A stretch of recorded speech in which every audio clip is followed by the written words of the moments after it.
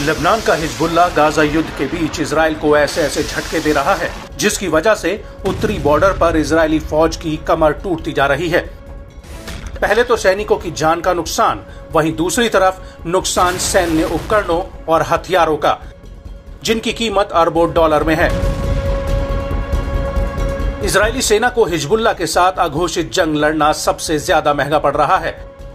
और तो और, हिजबुल्ला अब इसराइल के कई संवेदनशील सैन्य ठिकानों की जानकारी तक ले चुका है, जिसकी वजह से इसराइल के भीतर सैन्य ठिकानों, हथियार कारखानों और फैक्ट्रियों जैसे अहम टारगेट अब हिजबुल्ला के निशाने पर हैं। और अब इसी कड़ी में हिजबुल्ला ने 11 अगस्त 2024 को इसराइल पर सिलसिलेवार तरीके से कई बड़े हमले किए हैं। हिजबुल्ला का कहना है कि उसने आईडीएफ के कई ठिकानों पर गोला बारूद बरसाया है। हिजबुल्ला ने अपने एक बयान में कहा कि उसने सुबह करीब सात बजकर तीस मिनट पर अलमर्ज मिलिट्री साइट पर गोलीबारी की है। इसके बाद करीब नौ बजकर पंद्रह मिनट पर हिजबुल्ला के लड़ाकों ने अल राहेब मिलिट्री साइट पर जमा हो रहे इजरायली सैनिकों के ऊपर हमला कर दिया। और इसके बाद बिरकत रिशा मिलिट्री साइट पर हिजबुल्ला ने आईडीएफ के जमावड़े पर सीधे रॉकेट दागे। हिजबुल्ला का कहना है कि उसने इस हमले के ठीक बाद मिताद बैरिक्स पर इजरायली सैनिकों के एक और जमावड़े पर अटैक कर दिया।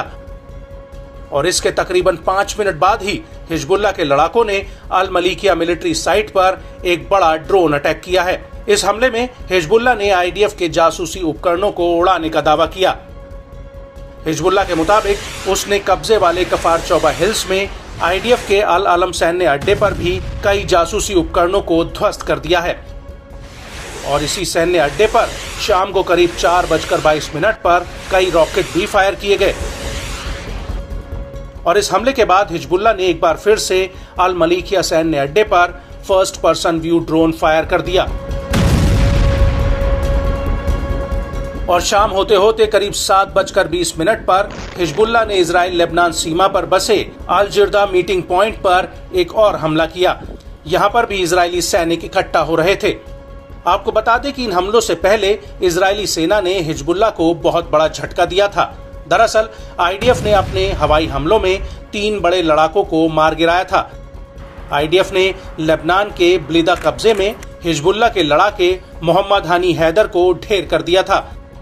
इसके बाद हदाता कस्बे के अली समीर हिजाजी को भी आईडीएफ ने मार गिराया था। और इसके बाद लेबनान के बेतलेफ कस्बे के हुसैन गदबान की भी इजरायली सेना ने हत्या कर दी। आपको बता दें कि इजरायली सेना ने अल ताइबे और मारोब कस्बे और यातेर के बाहरी इलाकों पर बमबारी की थी, जिसका एक वीडियो भी सोशल मीडिया पर वायरल हुआ है। और इस हमले को लेकर लेबनान की न्यूज़ एजेंसी अल मयादीन का कहना है कि इस हमले में पाँच इजरायली मूल के लोग घायल हुए हैं।